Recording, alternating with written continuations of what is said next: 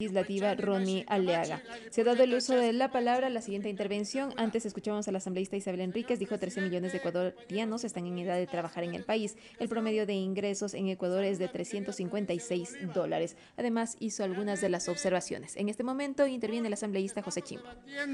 Este proyecto de Código Orgánico de Trabajo, que es un código de orgánico de trabajo que garantiza el derecho a los trabajadores por eso hemos presentado un cuerpo normativo que regula las relaciones laborales entre las personas trabajadoras y empleadores.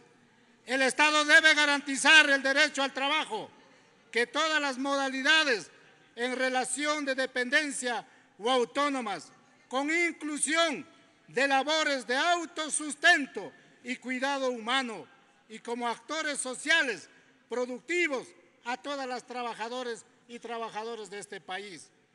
La remuneración debe ser justa, con un salario digno que cubra las necesidades básicas de los trabajadores y de sus familias.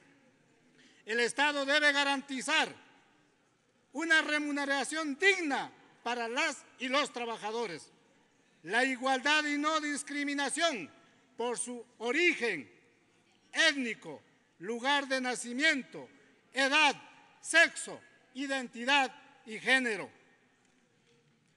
Debe garantizar el Estado la, afiliación a la seguridad social, la seguridad y la higiene en el trabajo, la estabilidad laboral, indemnizaciones justas en caso de despidos, el respeto a la jornada de trabajo máximas, el derecho al descanso, la capacitación permanente con igualdad de oportunidades para promoción y ascenso.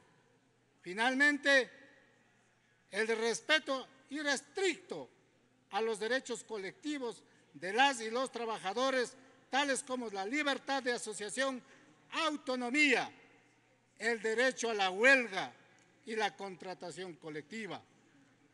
Señores asambleístas, estos aportes que está dentro del proyecto del Código de Trabajo que garantiza derechos a las y a los trabajadores, tiene que ser aprobado para garantizar conforme señala la Constitución. Gracias, señor presidente Yupaychani. Tiene la palabra Verónica